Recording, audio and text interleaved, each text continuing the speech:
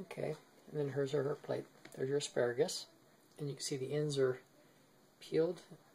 They've been drenched in olive oil, salt, and pepper in a bowl. There's a potato with butter on it, little piece of chicken.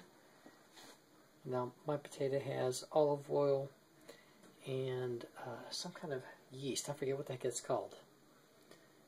My piece of chicken and mine. Okay, time to eat. See you later. Bye-bye.